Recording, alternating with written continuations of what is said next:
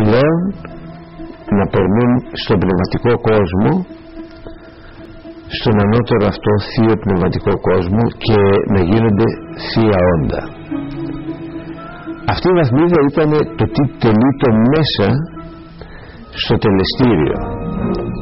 Φυσικά πριν κάποιος μοιηθεί για να μπει στο τελεστήριο για να αρχίσει αυτή η ανωδική εξελιχτική πορεία προς την εκθέωση της ψυχής και της κατανοήσεως των νόμων διαλεγόντουσαν εκείνοι οι οποίοι για να μοιηθούν οι οποίοι ήταν αγνήσιοι ψυχή δεν είχαν διατελέσει ε, αδικήματα και αυτοί μπαίνουν σε μια διαδικασία ε, μοιήσεως διάφορων βαθμίδων στην υπόγεια Ελευσίνα.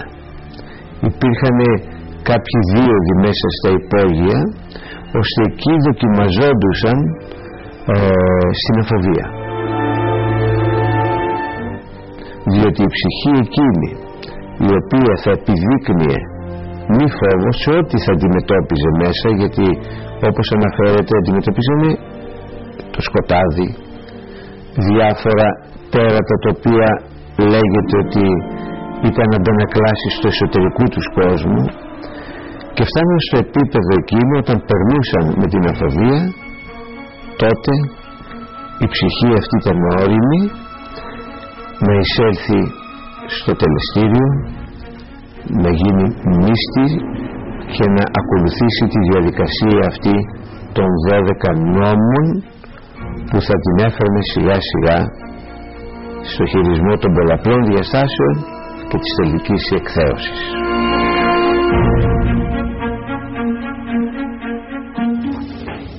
Ξέρετε, όταν ε, τα παιδιά και η Όλγα μου φέρε το θέμα αυτό και άρχισα να το μοντάρω και να το ετοιμάζω για να το παρουσιάσουμε σήμερα ένιωσα ζήλια ή ένιωσα έτσι μια απογοήτευση.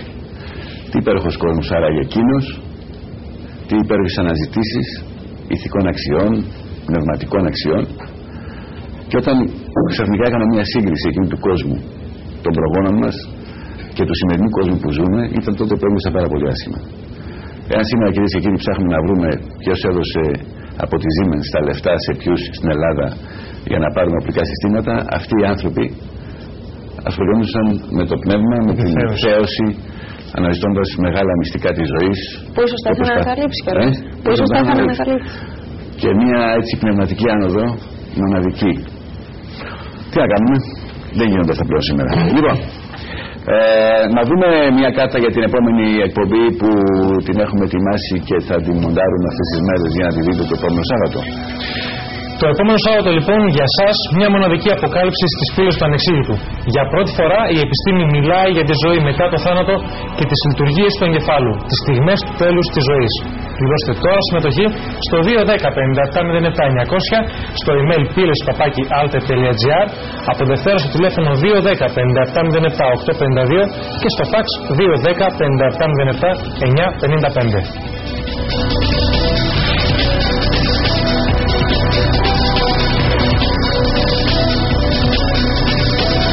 Θα σα έλεγα ότι είναι μία από τις ε, πιο ωραίες στιγμές αυτής της εκπομπής το ερχόμενο Σάββατο. Είναι και αυτή ωραία, η σημερινή. Αλλά και το επόμενο Σάββατο πραγματικά είναι μια πάρα πολύ ωραία στιγμή. Γιατί; Είναι η πρώτη φορά, μέχρι τώρα ξέρετε, ακούγαμε κάποιες μαρτυρίες ανθρώπων ότι ένιωσα να φεύγω από το σώμα μου, να αιωρούμε, να βλέπω από πάνω προς τα κάτω, να μπαίνω σε ένα φωτεινό τούνελ, να βλέπω ένα φως κλπ. Μαρτυρίες ανθρώπων που κάποια στιγμή νιώσαν ότι φύγαν από τη ζωή και μετά ξαναγίνουν στο, στο, στο σώμα τους. Και όλα αυτά ήταν πολύ αμφιλεγόμενα. Είναι για πρώτη φορά. Για πρώτη φορά θα το παρουσιάσουμε αυτό το πράγμα. Όπου στο, στη Γαλλία έγινε ένα ε, παγκόσμιο συνέδριο επιστημόνων, γιατρών, νευρολόγων, νευροφυσικών κλπ. κλπ οι οποίοι, ακούστε να είδε τώρα, κάνουν λέει χρόνια πολλά μυστικές έρευνες για το θέμα αυτό και είναι μυστικές, διότι ντρέπονται να βγουν μπροστά έξω και να πούνε ότι ψάχνουν. Είναι αυτό που ζούμε και στην Ελλάδα. Αυτοί λοιπόν οι άνθρωποι, οι οποίοι έχουν κάνει πάρα πολύ μεγάλες έρευνες επιστημονικές, δίνουν φοβερές απαντήσεις για αυτές τις στιγμές του τέλους και ανοιχνεύουν τι γίνεται μετά το θάνατο.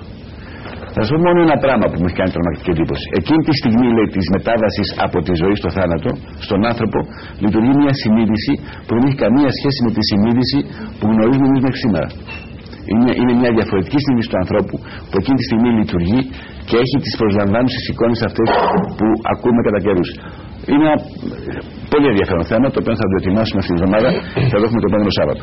Να επιστρέψουμε στα λουσίνια μυστήρια που με εμένα με εγωιτεύει πάρα πολύ και να αρχίσουμε να κουβεντιάζουμε και λιγάκι με τους καλεσμένους μας. Πάμε λοιπόν από την αναζήτηση για το επόμενο θέμα στην αναζήτηση της σημερινή και σε αυτό θα χρειαστούμε τη βοήθεια σας κύριε Ζερμπέλη γιατί φαίνεται ότι υπάρχουν πάρα πολλά μυστικά τα οποία κρατιούνται μακριά από το φως της δημοσιότητας και θέλουν πραγματικά να γνωρίζουμε τον λόγο. Γιατί όλη αυτή η μυστικότητα γύρω ακριβώς από όλα αυτά τις πληροφορίες που μοιράζονται μεταξύ τους σημειούμενοι. Πρώτα απ' όλα να δούμε την έννοια την ίδια της μοίηση και του μυστικού. Έχουν την ίδια ρίζα. Η έννοια μοίηση κρίνει μέσα το, τη ρίζα μο που είναι η αρχική αναζήτηση του ανώτερου. Ε, πρόκειται για μυστήρια έλευσεω. Τώρα, τι σημαίνει έλευση; Έχουμε δύο έννοιες στην ελληνική, την έννοια έλεος και την έννοια ήλαιος. Η προσπάθεια του ανθρώπου να επικοινωνήσει με το Θείο έχει να κάνει με την ε, έννοια του ήλαιος. Αυτό θα το δούμε στην Ορθοδοξία όταν ο επίσκοπος λειτουργεί με αυτή την ευχή του ήλαιος. Ενώ η δονητική του έλεος είναι διαφορετική. Είναι όταν έρχεται κάτι προς τον άνθρωπο. Το θέμα είναι τι έρχεται. Πρόκειται λοιπόν για μυστήρια ελεύσεως. Για να το κατανοήσουμε πρέπει να δούμε λίγο τον α, ομερικό ύμνο, να δούμε τι λέει, τι, πώς, τι είναι αυτά τα πράγματα. Ας πούμε. Φαίνεται ότι η καταγωγή αυτών των μυστηρίων είναι πάρα πολύ παλιά. Δηλαδή χάνεται στο βάθος της ιστορίας. Ε, υπάρχει μία θέση ότι τα μυστήρια αυτά ε, ήταν πελασγικά. Το γένος των ευμολπιδών είχε καταγωγή θρακική. Η Δήμητρα γη μήτυρ, μητέρα γη, ε, η γονιμότητα δηλαδή λατρευόταν στη Θράκη. Ε, από την άλλη μεριά έχουμε τις ρίζες, προσπαθώ να σας ε, τα συνδέσω λίγο, ε, τις ρίζες της μουσικής των μουσών, ας πούμε θα ακούσετε ότι οι μουσες μειώνουν ανθρώπους. Η ελληνική γλώσσα βοηθάει με τα επίπεδά της να κατανοήσουμε πράγματα βαθύτερα. Δηλαδή αυτό που λέμε συνδέει σήμα με σημενόμενο. Έτσι λοιπόν η έννοια μυστήριο, η έννοια μουσική, η έννοια μύστης, η έννοια μυστικό έχουν κοινές ρίζες. Γιατί όμως όλα αυτά προσπαθούμε να τα κρύψουμε όλα αυτά τα χρόνια. Τι ήταν αυτό το οποίο θέλαν δηλαδή να αποκρύψουν οι αρχαίοι από τους υπολείπους; Είναι η ανετοιμότητα του ανθρώπου να αντιμετωπίσει καταστάσεις οι οποίες δεν είναι έτοιμος να αντιμετωπίσει. Παράδειγμα, όπως είναι ο φόβος. Στα, γενικά σε κάθε είδος μυστήριο, το πρώτο πρωταρχικό πράγμα που πρέπει κανείς να αποβάλει είναι τα φοβικά του. Δηλαδή, συνήθως είναι μια αντίδραση του οργανισμού μας όταν είμαστε ανέτοιμοι να αντιμετωπίσουμε καταστάσεις, λειτουργούμε με την έννοια του φόβου. Αν δεν ξεπεράσεις λοιπόν το φαινόμενο της σκιάς που λέμε, γιατί είναι ένα παιχνίδι φωτό σκότου στην ουσία και ε, ε, μια κατάσταση ανάμεσα στη ζωή και το θάνατο. Βασική ίση των Ελευσινίων ήταν η, έννοια, η ζωή είναι ο θάνατος και ο θάνατος είναι η ζωή. Ή έχουμε τα λεγόμενα άρρητα ρήματα. Αυτό θα το δούμε αν συνδέσουμε τα Ελευσίνια μυστήρια με την Ορθοδοξία σήμερα και δούμε τι έχει διασωθεί μέσα Άρα λοιπόν από την Ορθοδοξία. Από ό,τι καταλαβαίνω, ε, πιστεύω ότι οι περισσότεροι δεν είναι έτοιμοι να δεχθούν αυτές τις αλήθειες που βγαίνανε μέσα από τα ελευσίνια Είναι και μυστήρια. επικίνδυνες πολλές φορές γιατί μια γνώση η οποία δεν μπορεί να χειριστεί σωστά μπορεί να δημιουργήσει μεγάλη. Παράδειγμα, η έννοια του κραδασμού. Δηλαδή το τρίτο επίπεδο της ελληνικής γλώσσας, το κρύπτον που λέμε, που έχει κραδασμό μέσα, που έχει δονητική. Αν ένα από τα άρρητα ρήματα των ελευσινίων το προφέρεις κατάλληλα, λοιπόν, εκείνη τη στιγμή μπορεί να δημιουργήσει μεγάλο φαινόμενο. Όπως, παράδειγμα, θα σας πω, θα σας το συνδέσω με μια, ας πούμε, με το τετραγράμματο των Ιουδαίων. Αυτό προφερόταν μία φορά τον χρόνο στο ναό του Σολομώντα ε, μόνο από τον αρχιερέα. Και ήταν πολύ επικίνδυνο να το προφέρει οποιοδήποτε. Ναι, τι μπορούσε να προκαλέσει. Όχι, όχι, όχι, θα μην μην μείνουμε άλλο σε αυτό, Γιάννη, συγγνώμη, γιατί ε, έχουμε μείνει, έχουμε κολλήσει ένα θέμα. Αυτό που λέτε, Ναι. και το ακούσαμε και την περασμένη εκπομπή από τον κύριο Διαμαντάρα, μία φράση κλειδί. Πολλές είναι. Τα άρρητα ρήματα. Τα άρρητα ρήματα που δεν πρέπει να τα ξέρουμε. Που μπορεί δεν να, είναι, δεν να πρέπει να τα προκαλέσουν μια καταστροφή ή να προκαλέσουν μια κατάσταση έτσι Περίεργα ε, φαινόμενα. μια ελεγχόμενη. Αυτά νομίζω ότι στην εποχή μας πρέπει να τα πούμε πλέον. Δηλαδή δεν είμαστε στην εποχή των ελεξιών Ναι, μυστηρίων. ναι, φυσικά. Έτσι. Φαίνεται ότι υπάρχει ένα τέλος των υποσχετικών, αλλά άλλο η υποσχετική και άλλο όπως. Μάλιστα. Λοιπόν, ε, να βλέπουμε και μερικά πράγματα και να κουβεντιάζουμε για να μην κάνουμε μονολόγους και κουραζόσαστε κι εσείς και εμείς. Θέλω να πάμε τώρα σε ένα θρύλο που δεν ξέρω αν είναι θρύλος. Αλλά εν πάση περιπτώσει είναι μέσα σε διάφορα ιστορικά κείμενα.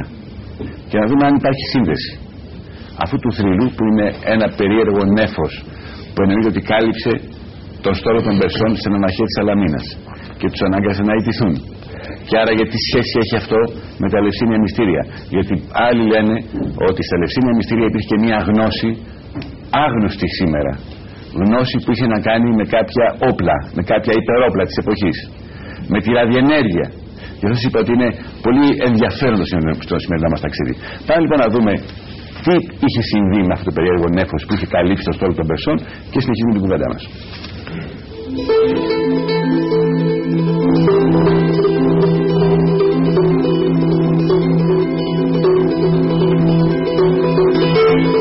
Υπάρχει κάτι που δεν ξέρουμε για την Ελευσίνα. Μία γνώση που να χάθηκε στο πέρασμα χιλιετιών; Ναι.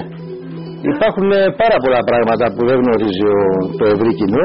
Ξέρουμε ότι βυθίστηκε πρώτα η πρώτη Ελευσίνα, η πανάρχια Ελευσίνα. Μετά δημιουργήθηκε, όπως είπαμε, από τον Ελευσίνο η καινούργια πόλη, και αυτή αρχαία βέβαια, αλλά καινούργια. Ποιος ήταν σκοπός, να μεταφέρει ε, τις τεχνολογίες της εποχής εκείνης ενός μεγάλου πολιτισμού σε σημεία τα οποία να, είναι, να μην είναι προσβάσιμα στο, στον κόσμο και να φυλάσσονται ε, χάρη τον, ε, του ερατείου αυτού. Γι' αυτό και δημιουργήθηκε ένα θεοκρατικό κράτος.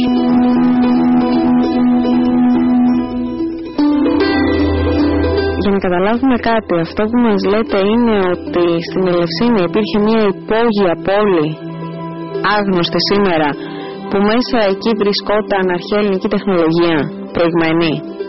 Ναι, ακριβώς. Αυτό εννοώ ότι σύμφωνα με τα αυτά που έχουμε διαβάσει και έχουμε, μας έχουν ενημερώσει τα βιβλία αυτά, ειδικά τα αρχαία βιβλία και οι σύγγραφοι ιστορικοί, από τα καταβάσια κάτω υπήρχαν πύλες οι οποίες ας πούμε οδηγούσαν τους βιόμενους στα, σε βαθύτερα σημεία, πιθανώς σε μια πόλη σε μια πόλη ε, κάτω από την σημερινή που βλέπουμε στην επιφάνεια όπου εκεί ε, γίνονται οι μοιήσεις των δρόμενων, των δεικνόμενων και των λεγόμενων.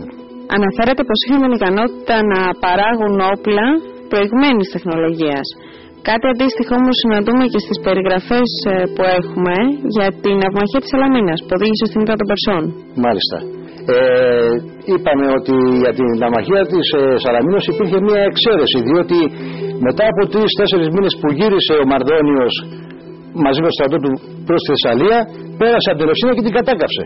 Φαίνεται κάτι συνέβη ότι οι ιερείς δεν μπορέσαν να, να αμυνθούν έναντι του Μαρδονίου ή γιατί είχαν φύγει κιόλας, είχαν εξαφανιστεί. Πού, είχαν πάει, πού είχε πάει ο κόσμος όλος, ας πούμε. Μήπως είχαν πάει κάτω, είχαν κρυφτεί, μήπως είχαν πάει κάπου αλλού. Πάντως ο Μαρδόνιος μπήκε σε μια πόλη η οποία την έκαψε και σηκώθηκε και έφυγε χωρίς να βρει κόσμο.